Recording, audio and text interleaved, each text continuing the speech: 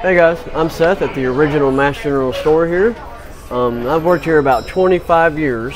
I started when I was 14 actually, um, just a part-time sales associate. I stock drinks and um, register stuff like that. And now 25 years later, I'm one of the managers. Um, I manage the front room here, the knife shop, a few other things. Um, but here at the Mast store, we sell basically everything you need. If, we don't have it, you don't need it. That's kind of our quote. Um, we got everything from sodas to, to food here behind you, shoes, t-shirts, about anything you can think of. Um, and of course, the building is 140 years old this year. We just celebrated a, an anniversary for it. Um, I love the history of it. Every antique fixture, floorboard is all original. Um, that's what a lot of people come to see is just the 140 years of history, um, which is hard to see anywhere else.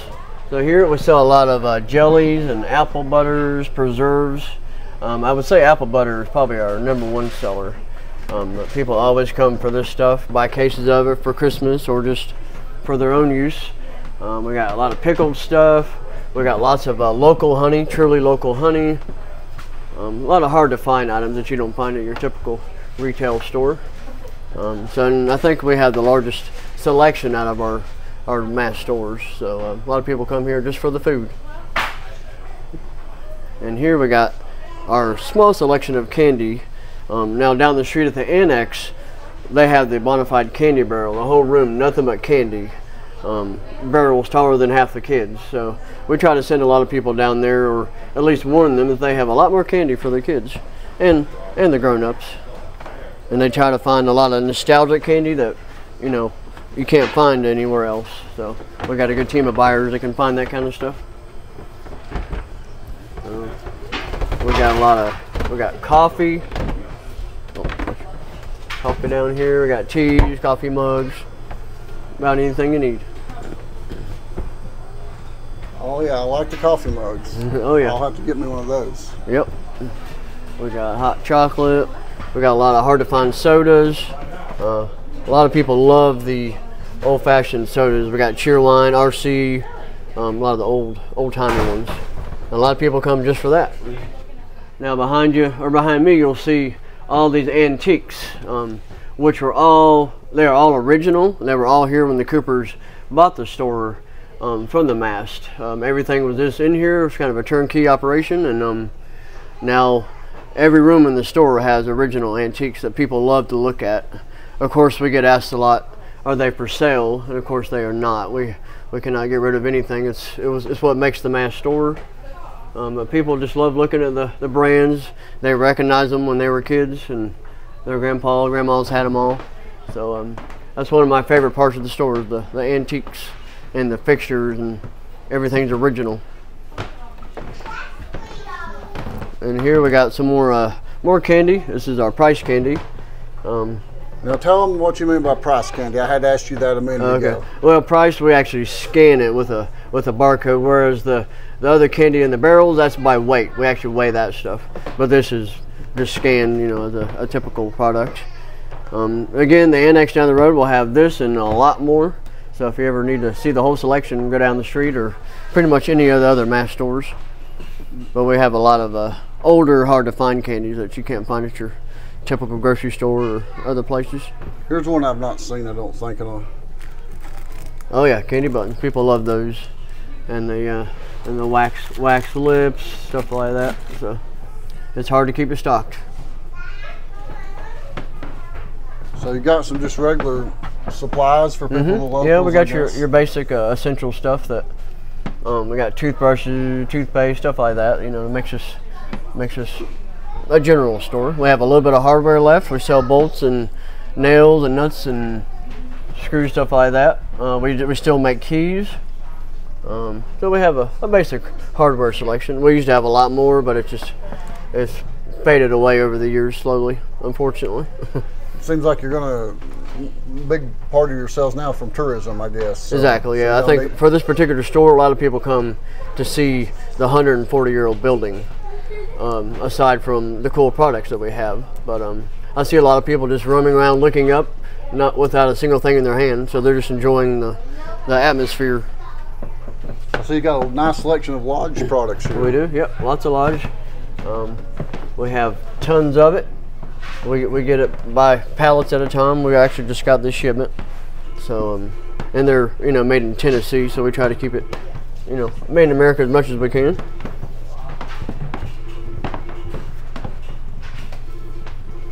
So the um lodge products is um, got a lot of different types of cast iron, don't they? I, have never Oh, seen. yeah. I don't guess I've seen quite this big of a selection. Right. The frying pans, we sell the pans the most. Um, we got a lot of the accessories. And everybody says I have my grandmother's cast iron skillet. I hear that about every time I sell one. So you can see how long term they are. So it's a good, definitely a good general store product.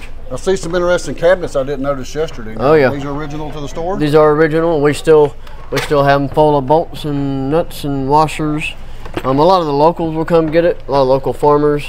Um, they don't sell like crazy, of course, but they are all original. Um, people just like the fixtures themselves. They just like to spin them and, and ooh and all over them, which I do too. And we had to count all these bolts in inventory, so that's my favorite thing to do. Well, tell us about the stove a little bit. Do you uh, who keeps that going? You use it in the winter as a actually fire it? We do, huh? We use it kind of in the fall, winter. We don't have to, but it adds to the ambiance of the store. Um, where Wa- Watauga Lake is now in Tennessee, before that was a lake, it was a town of Butler, and that's where that stove came from in the early 50s, um, before they flooded and made it a lake. Now there was an older one before that, um, even one under the store in the early, early days. Um, they were coal fired at one time. Um, now this is wood, but it's uh, we still use it. People stand around it, and all the locals sit around in the chairs and rockers and tell stories. All the farmers. I see a picture up here on this uh, beam. Uh, who's you know who these gentlemen are up here? Uh, yep, that's uh, on the right. That is HW. That was one of the one of the last masts to own the store. His his grandfather started the store, WW Mast. Um, and then that is Homer on the left. That was one of his another local good friend. Unfortunately, they have both deceased, but um, everybody knows HW. And that was HW uh, Junior, HW Senior, and then WW were the original mast. Um, so a lot of a lot of historical historical pictures roaming around. I see you sell a lot of the, uh, the tin signs. I like collecting those. Oh yeah, we try to get a, a good selection of the nostalgic and, and somewhat modern and humorous. I see a lot of the Bigfoot stuff. I guess it sells pretty good. I see it oh yeah, everywhere I go. we sell a ton of Bigfoot. I hope he gets um, royalties on how much money they're making. so here's our back register, we call it, where we have a lot of uh, local baked goods from the uh, Cove Creek store.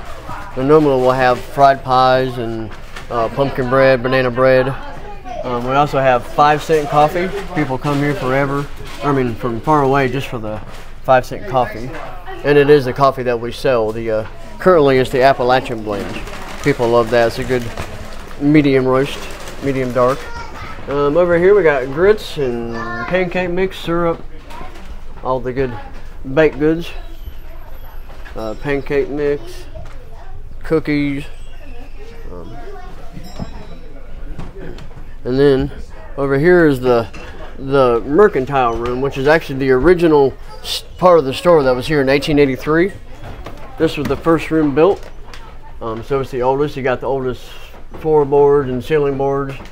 If you look a little farther, you can see the line in the ceiling and the floor, and that from there on, that was what was added out and over probably uh, before 1900. But um, and of course the upstairs was here in 1883 as well.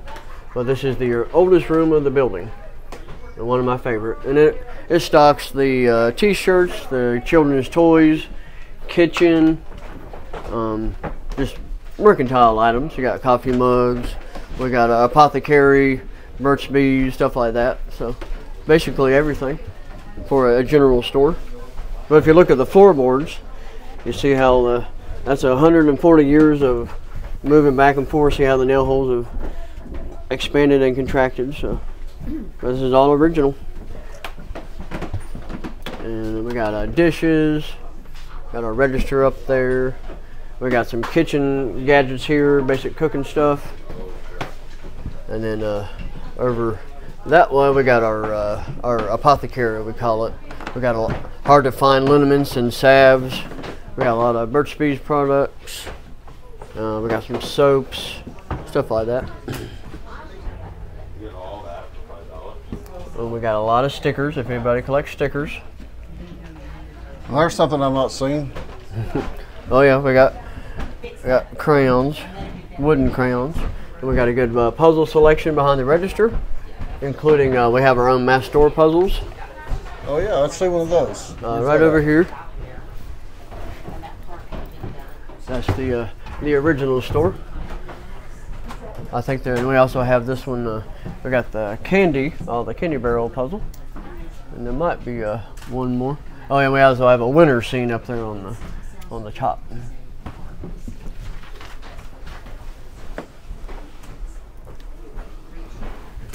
So they can take a little bit of the Mast General home with them in a puzzle, can't they? Exactly. Yeah, they, they sell very well. So right here, you was talking a few minutes ago about where the, Uh-huh. they added the store on. We can see the seam a little bit better now that we're up here. Exactly. Yeah, you can see that in in the floor right there, right where you're standing. to that line?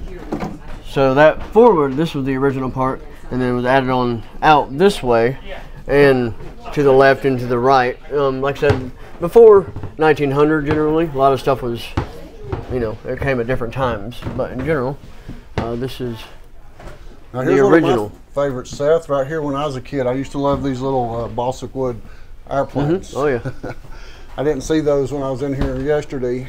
yeah. Those have hung there for quite a while. All the dust on them. Now, do y'all sell those here? um, I, oh, we do. Uh-huh. We have for years. Yep. Okay, nice. And again, all the antiques in this room as well were all here. They're just put up there for display, but everybody wants to buy them. And you can see uh, some more photos over here if you want to check out what it used to look like. So here it is in the in the in the 40s. Um, still looks about the same today. Just it's just white now, white and green. Now we're into the shoe department, which is still pretty old. I believe the back part was also original in 1883. You can again you can see the expansion line there. Um, but people come here just for shoes. We have a lot of good professional sales associates that can fit them properly. We got socks. Downstairs is the women's shoes, and then upstairs we have the men's shoe shoe department.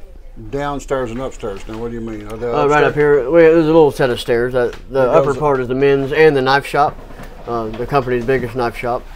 This is this is the best room in the store, in my opinion. now this is the uh, men's shoes and boots, and then we have the knife shop. We have uh, the largest selection of knives in the company. Now this particular room is actually the newest room of the whole building.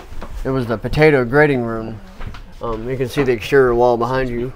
Um, but it was still probably here in the, before 1920. You called it the what now? The potato The grading? potato grading room. They would grade different sizes of potatoes on a big conveyor belt. And actually, see that trap door right there?